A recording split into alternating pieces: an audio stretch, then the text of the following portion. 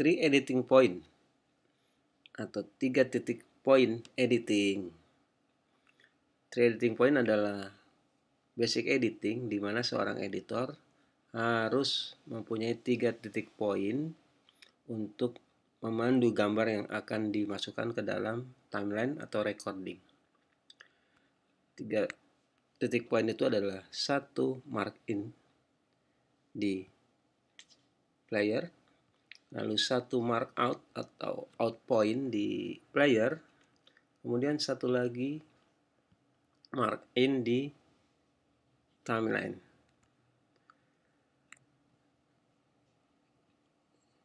Nah, sebelumnya kita harus membuat sequence di timeline, yaitu kita lari ke arah window project. Di sini ada bin sequence, kemudian kita klik saja, ya, kemudian dia sudah ada di sini.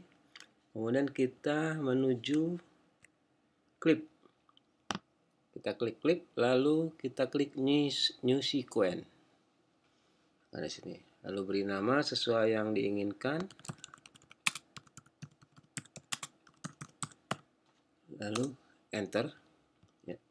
dan kita mulai editing langkah selanjutnya adalah memilih bahan mentah atau gambar yang akan kita edit di sini ada tiga bahan untuk diedit ya ada tiga angle kamera dengan objek yang sama dan gerakan yang sama. Kita akan memulai dengan yang pertama. Dengan ini. Kita mark in. Lalu kita pilih sampai di mana objek itu bergerak. Lalu kita mark out.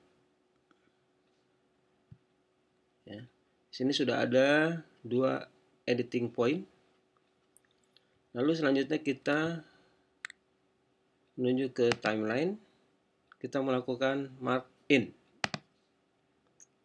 Jadi sudah ada tiga point editing di sini. Satu mark in, satu mark out di player, dan satu mark in di timeline. Langkah selanjutnya adalah meletakkan gambar yang sudah dipilih ke dalam timeline yaitu dengan melakukan klik pada override atau huruf B pada keyboard. Kita klik, nah ini sudah masuk ke timeline ya. Lalu selalu letakkan garis biru ini di ujung gambar yang sudah kita letakkan di dalam timeline.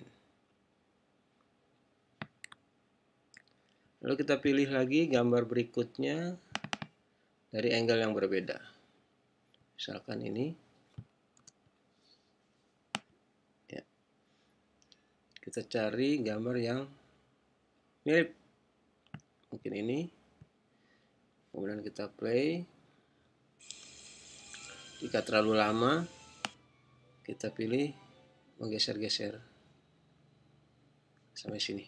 Lalu mark out kemudian kita kembali ke timeline kasih recording lalu membuat mark in jadi selalu ada dua dan satu di timeline lalu kita kembali override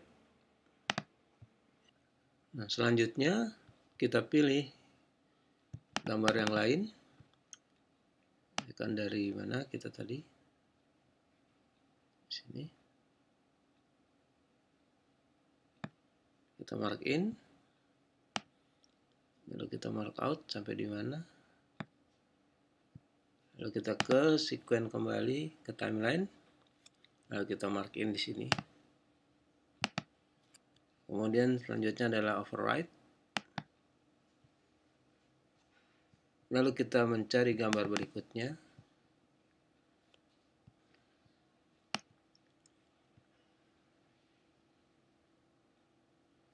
Carilah gambar yang sama dan cutting pointnya pada gerakannya.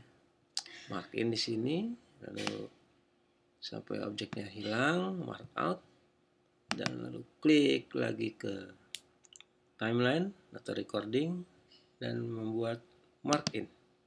Jadi ingat selalu ada dua poin dan satu poin di timeline. Kemudian override. Inilah hasilnya. Kita telah melakukan editing dengan metode tree editing point.